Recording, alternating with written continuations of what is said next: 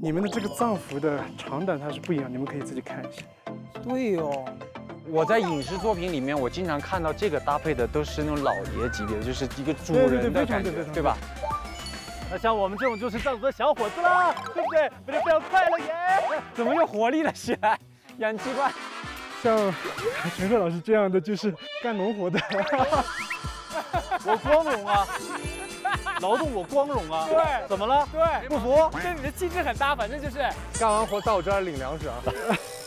我呢，我呢，你这个就是文人雅士的一个。哦，文人雅士，对对对，文人雅士，那我和武艺的你的这个就是平常的我们百姓穿的，百姓穿的，咋是的嘞？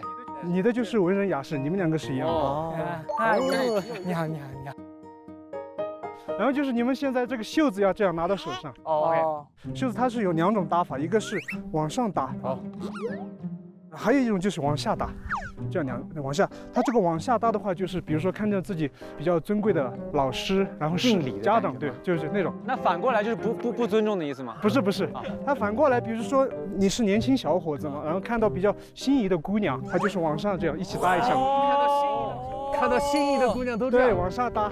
明白明白。